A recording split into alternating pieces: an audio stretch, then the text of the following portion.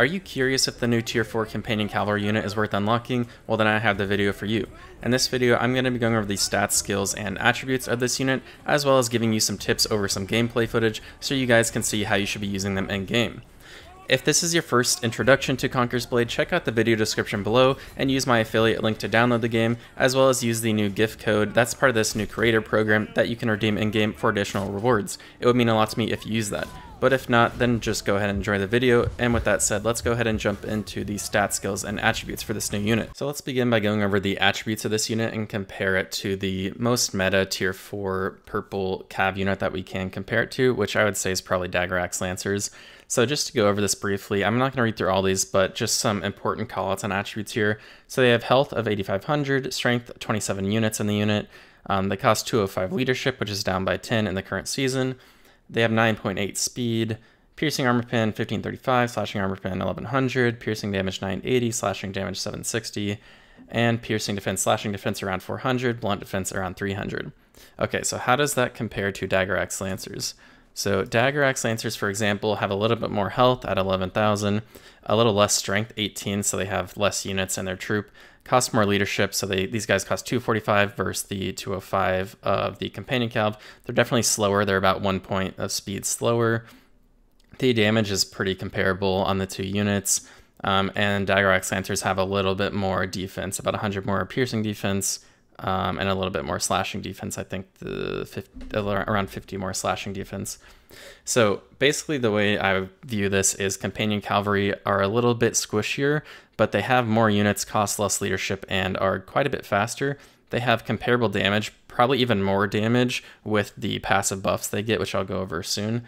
Um, and they have a little bit less health. So overall, just think of them as like a little bit squishier than other tier 4 cavalry that just charge in, but they can deal a little bit more damage and they're pretty fast as well.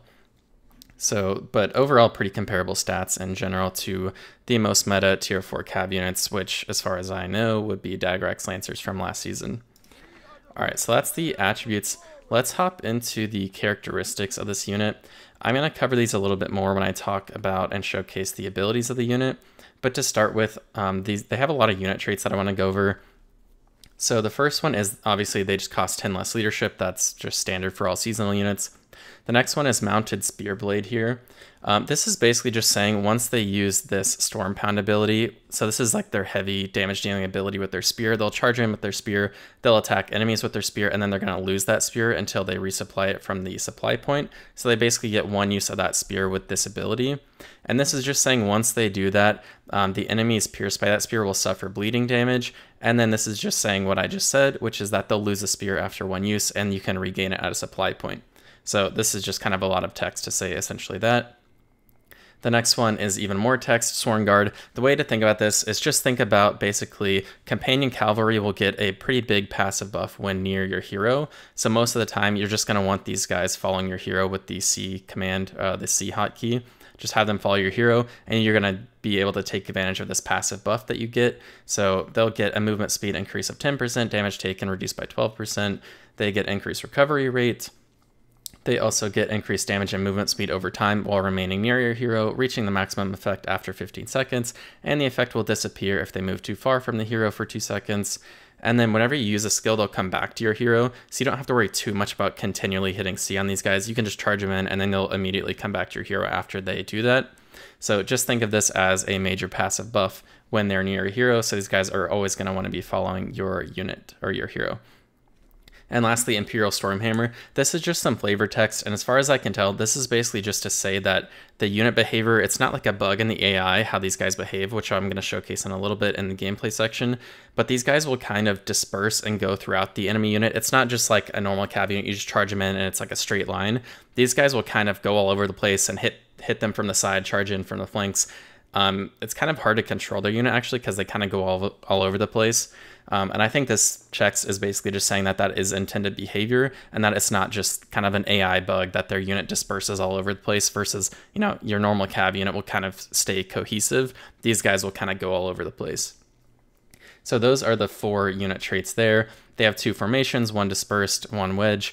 Uh, I'm not going to go over the abilities too much because I'm going to showcase them in a second, but just to quickly mention them. Like I mentioned, Storm Pound, that's your main spear damaging ability. So it'll be a charge in, it's a one-time use until you resupply him, and it will deal heavy damage to the enemies with their spear.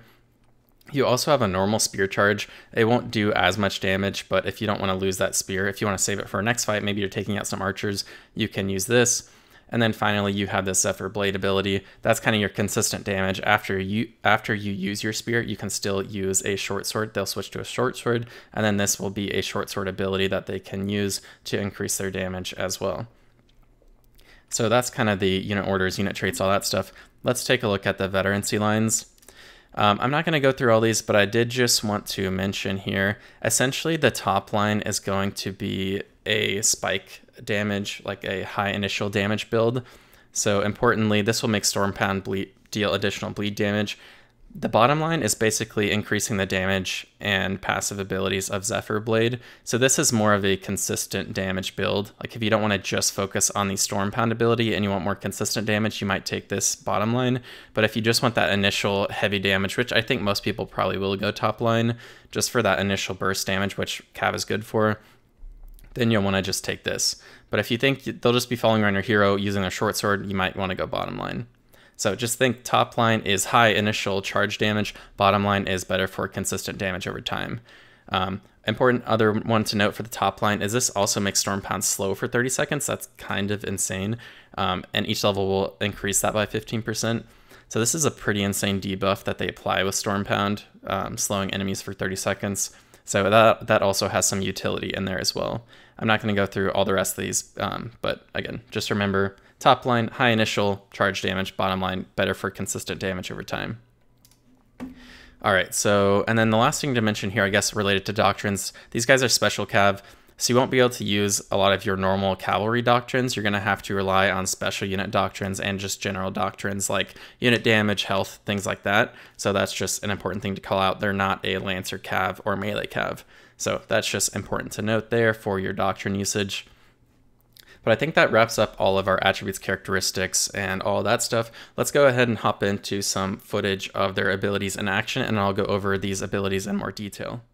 Okay, so for the companion cav abilities, the first thing to notice, you see this red circle around you. This is like that new circle you get with the unit. So that's gonna be your passive buff when they're within that circle. So they need to be within the circle to get the passive buff um, that I mentioned in that in the previous section.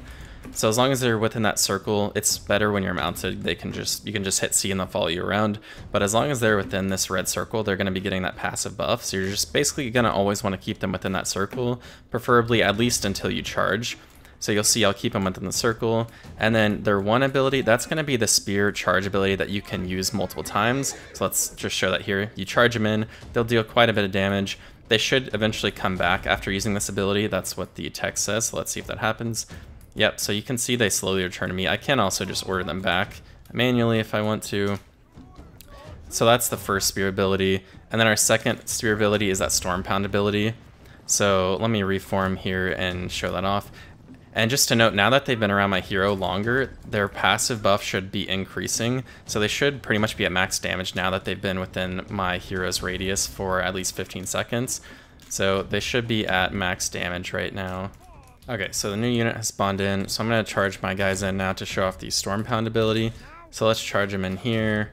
I'm going to use Storm Pound, and they're going to charge in and stick that spear into the enemies, and you see they do a lot more damage than what the one ability did. I know those are archers, but just trust me, they'll just deal more damage. Um, now I'm stuck with my sword, so I'm not going to go back to supply it. If I went back to supply right now, I would get those spear abilities back, but I do just want to show off the Zephyr sword real quick. So let me put them back in the starting area. So you see now I lost my spear abilities. I still have the radius passive buff, but now I'm stuck with my sword. So I won't be able to charge them in, but I do still have this Zephyr Blade ability. So if I charge them in and use that, you can see they still can do a pretty good amount of damage with that. Um, so even with the sword, they can be pretty powerful. Um, but you see they won't get that Storm Pound ability any longer. So if you build around Stormblade, just know, or Storm Pound I should say, just know you're going to want to resupply a lot to get that spear back. If you go that bottom line veterancy, you can just continually use the Zephyr Blade. You don't really have to worry about going back to supply as much. But just to show this off one more time, I take them back to supply here. They get their spears back, and then I can go and charge these guys in one more time. So let's go show that. Storm Pound ability, they'll charge in, use Storm Pound. They have a pretty good range on that, as you can see. And then they go into that kind of dispersed formation, and then they'll come back to my hero. So that's kind of the main abilities they have. They have their spear charge, their normal spear charge that does decent damage, storm pound, which is your main damage ability, but you will lose your spear as soon as you use that, and then you're stuck with your short sword, which you can still use to deal decent damage. So you can pretty much use uh, storm pound on cooldown. I would recommend that because um, your short sword still does deal a decent amount of damage, but you will probably want to save storm pound for the most ideal moment for your main charge attack. So basically when you would use your main charge with other cav, just use your Storm Pound like that and you should be good. Um, but yeah, that's the three abilities for these guys. So let me hop into some gameplay and I'll kind of show you guys how they work in a real game and give you guys some tips.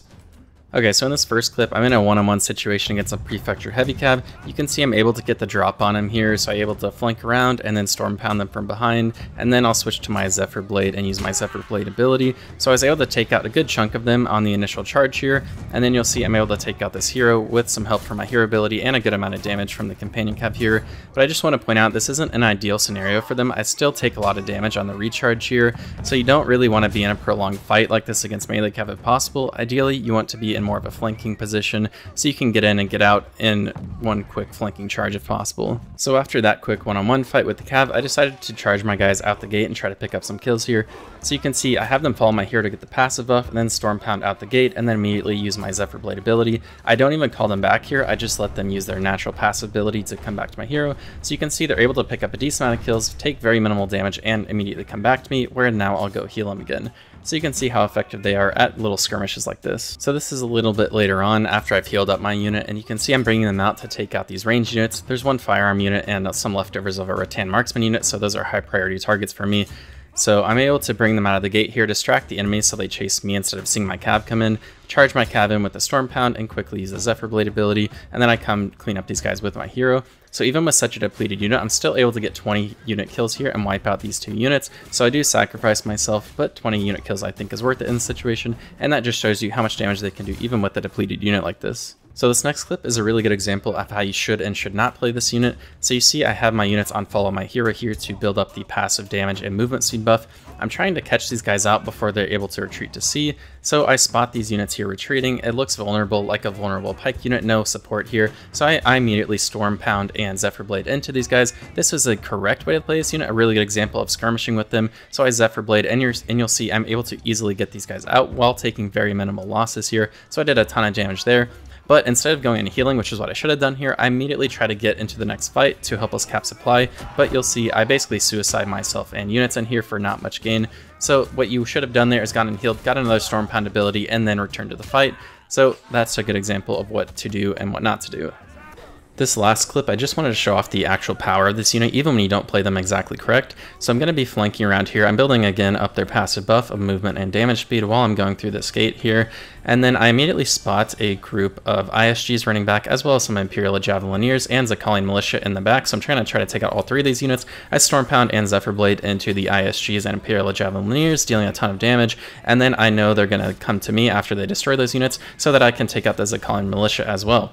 I misplayed this by getting my hero killed too easily by the chain dart, but even though this clip cuts off a bit earlier, I was able to get a total of 30 troop kills and a lot of those high priority units. So you can just see the power of this unit even when you don't play them exactly correctly. So to summarize my gameplay tips, you'll of course want this unit following your hero to build up that passive buff until you charge in. I would treat the Storm Pound like a charge on a normal cav, so you want to Storm Pound and Zephyr in, let them return to your hero, and then I would highly recommend resupplying and healing this unit if at all possible before redoing this combo. If you do that, you'll be able to get a ton of damage and kills in while still having most of your unit survive, so I'd highly recommend doing that. But that's pretty much it. It's not too hard to play this unit. If you're new to this game, please make sure to check out the links I mentioned in the description of this video, and if not, let me know your thoughts on this unit so far.